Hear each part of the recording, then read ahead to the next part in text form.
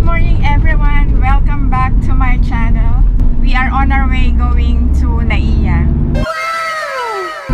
Pero hindi kami aalis, hindi kami magta-travel. We're going to pick up yung car na ni-rent namin. So today we're going to try how it is, kung, kung ano yung mga magiging experience namin sa pag-rent ng car. Kaya kami nag-rent ng car kasi we're going to Lucena to attend the Nyog Nyogan Festival 2023 kasi during the pandemic wala silang festival yan, pinagbawal yan even until last year. Ina-recommend yan nung friend ko na taga Lucena, si Ron. Hi Ron! Shout out sa inyo ng mga ng family mo. Well anyway, ano yung pupuntahan natin? Nyeg nyega. Ano yan? Nyeg nyega. Bakit ganyan? Nyag-nyag. Ano yan? Nyog-nyogan, hindi nyag-nyagan. Nyeg nyega. So yun, dapat kasama namin si nanay. Kaya lang last minute nag-back out. Nay, honey, shout out. So, alam ko panonoorin niyo rin yung aking vlog. Well, anyway guys, we're going to share with you more of the events, kung ano yung mga kaganapan sa Nyog-Nyogan. But first, we're going to make a separate vlog for our experiences sa pag-rent ng car. So, first time namin magre-rent ng car dito sa Philippines. When we were in the Netherlands, na-experience din namin yung mag-rent ng, uh, actually hindi car, ng van when we went to Paris. Dahil may mga bisita kami, hindi kami kasya sa kotse. So, we need a bigger uh, space. So, this time, ayun guys, abangan nyo yung mga kaganapan na gagawin namin for today at saka hanggang tomorrow. So, see you later.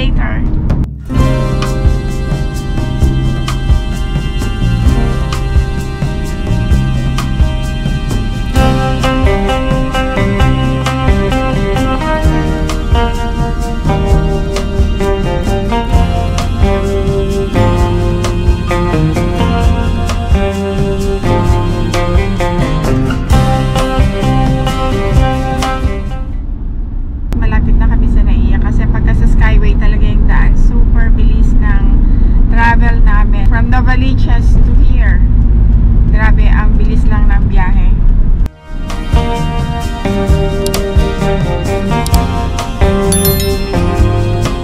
Pagka pupunta ka ng Naiya wala pa yung Skyway via EDSACA you have to allot at least 1 to 2 hours para sigurado makakarating ka ng on time sa Naiya. Kasi talagang super traffic.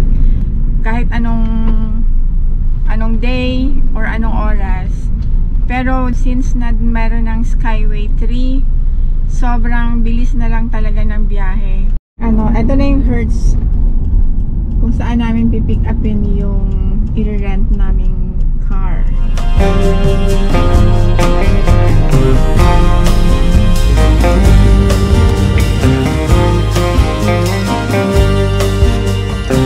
Ano yung park? Pay, pay Opo, parking? opo. Fixed ba yung price? 40 po. Pagka iwan yung sasakyan dito? Sa- Saan po ba to? Hertz. Opo. As of 40 lang. Opo. May ba? 40 po pag ano. Labas na lang po paglabas po. Pagka bukas, labas. bukas ang labas namin kuya Ay ano yan ma'am? 250 na yan ma'am. 250, Ah, okay. Pero Sa ano, safe naman dito. Opo, safe naman po rito. Ito po may parking po dyan. Ah, okay. Kanan po kayo. Okay, so iwan namin yung car namin dito for one day kasi bukas pa yung balik namin. One night lang kami sa Lucena. So the parking fee is 250 for overnight. 40 pesos for a few hours lang. Ayun yung Hertz. Hertz! It hurts! Naka time lapse pala ka din yung ano.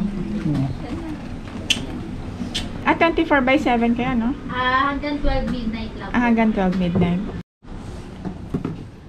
Ito po yung ah, contact numbers namin. Okay, And then, sure. ito po yung email po namin. Ah, yeah, yeah. Thank you! Sir,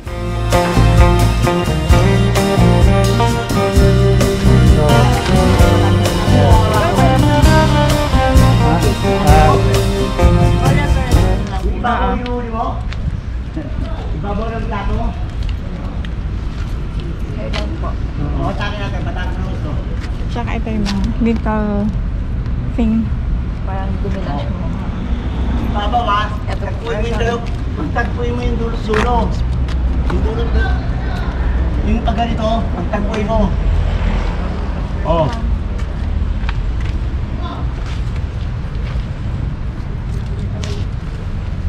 Hindi, kahit nakaganyan yan, okay lang. Basta, So, so, eto yung basta car na umalik siya sa i-rent plancha namin pareho. for today Dulo, until alik. tomorrow. Vios. Walang- device, Oo. mga tools po nandyan po sa Okay. Uh, reverse. May instruction. po. Ah, ganon. Mm. Ito neutral. Neutral is ano, hindi siya gagalaw. No? Ano po? Ito neutral. Ito ano, drive. Oo. Tapos Okay. ito parking. Kung pa- pag nag-park po kayo, yan, parking po to. ito. Ah. Ngayon po, ang bawa, naka ano ba? Under pa yan. Ito, tingnan nyo. Pinatay nyo ngayon. Sir, hindi nyo makukuha yung susi kasi naka-reverse kayo. Mm. Kailangan, yan ninyo. Naka-park lagi. Oo, Ah. yan. Okay, sige. Start nyo lang. Saka hindi nyo po ma-start yan, halimbawa. Ah, ganyan, naka ano. Ah, Hindi nyo makuha. Hindi nyo rin ma-start. Oh. Ah, Okay, it. Kasi nakapat lang, tapos tatasin lagi ito. Kaya once na alis na kayo, baba ito, Hmm. and then drive. Drive lang.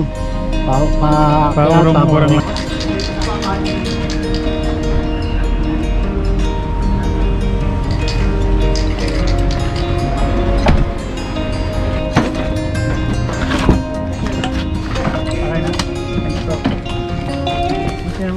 Naninibago si Yus kasi ano to eh, ah, automatic. Kaya mo? Paps? Oo. Oo naman. So, we're leaving, going to Lucena. So, see you guys to Lucena. So, nakapag-register na kami ng car na i-rent and this is what we have. Honda Toyota Vios. Ah, Toyota Vios. It's an automatic car kasi yung van namin is manual. So first time Vios gagamit ng automatic. First time ba? First time mo gagamit ng ano? Oh, sir. Okay na, okay na. Okay na. Pwede na. So yun. Ma- May... nagtititititi. Tabi mo muna.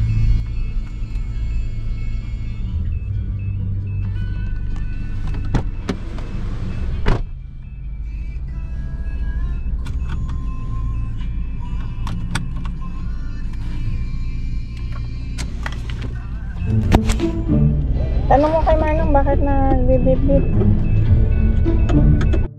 May nag-beep-beep-beep. Nag-AR. So, ask mo si Manong muna. biggest small wide kitty talent search is back. Audition starts on July 15, 2023 to August 27, 2023. Visit your nearest SM Mall for more Oo, details. ask. Si Manong, Yes. maubos oras na kakatitig mo dyan, Paps. I-off ko muna. Dito, i-tabi ko muna siya dito. Okay na yan. Hindi kasi nakaharang ako sa exit. Please, please, honey. Okay.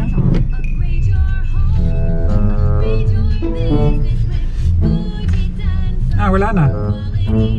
Bakit ano yung ano na yun? Wala na. Yung Ah, tingin. okay, sige. Ha? Yan? Oo. Okay.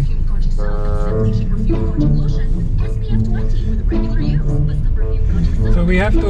Ayun, nawala na yung tunog. Hindi na kailangan tanongin si Manong. Tawagan mo may number kanila. Hindi, okay na yan. Okay na yan. Sigurado okay na yan. Baka, na, let's see na lang ha, pagdating doon. Ha? Okay lang yun, Paps. Don't worry. Don't worry.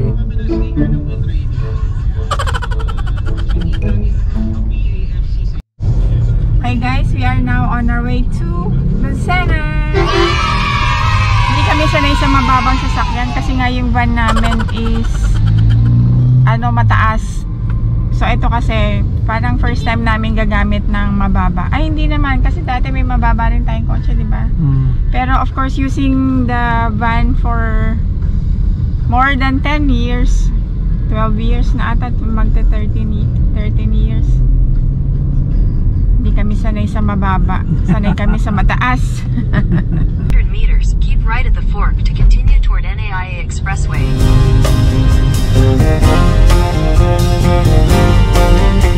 right at the fork. Ito yung park and fly dito sa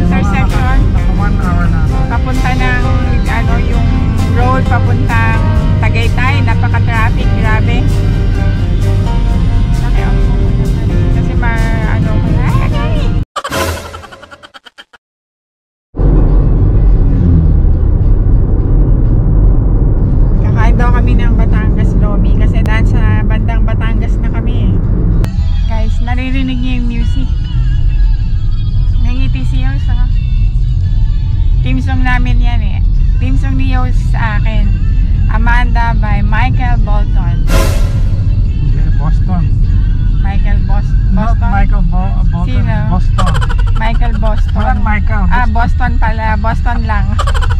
Hindi alam yung singer data yung song kasi mali. Sa, sabi mo Michael Bolton.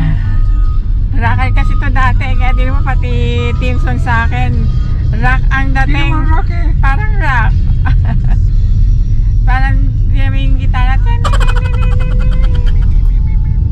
Amanda. Muna kami dito. Anong lugar to? Santo Tomas. Sa Santo Tomas. Dito sa Batangas. Uh, al al Alaminos. Ay, Alami sa Alaminos, Batangas. Wala kami mahanap na restaurant kaya dito kami sa McDonald's. Pero dahil bawal sa akin yung mga fatty foods for the meantime, eto ang solusyon ko. Meron akong kamote. Bili muna kami ng snacks, guys. Dito sa 7-Eleven. Bili kami ng water. Anong gusto mo? Kain pala mo. Okay. Yan, let's go! Gusto na kami bumili ng snacks namin, tsaka tubig.